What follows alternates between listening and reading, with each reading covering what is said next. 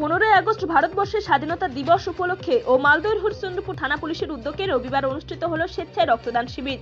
ফলে হরিশ্চন্দ্রপুর থানা পুলিশের উদ্যোগে আয়োজিত এদিনের ওই রক্তদান শিবিরে খোদ হরিশ্চন্দ্রপুর থানার আইসি সঞ্জয় কুমার দাস ও অন্যান্য পুলিশ কর্মী সিভিক ভলেন্টিয়ার সহ স্থানীয়রা সহ প্রায় একশো পঞ্চাশ জন স্বেচ্ছায় রক্তদান করেন। এ বিষয়ে হরিশ্চন্দ্রপুর থানার আইসি সঞ্জয় কুমার দাস জানিয়েছেন, প্রতি বছরের ন্যায় এবারও স্বেচ্ছায় একটি রক্তদান শিবিরের আয়োজন করে হরিশ্চন্দ্রপুর থানা।